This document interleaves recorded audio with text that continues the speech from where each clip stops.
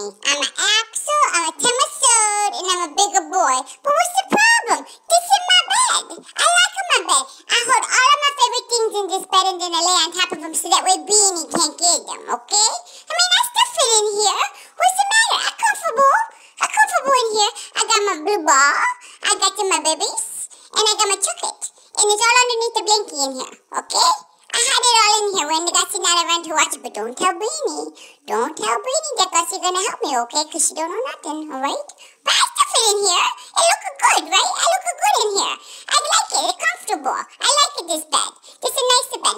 I don't want to get rid of this bed. I like it, this bed, Mommy.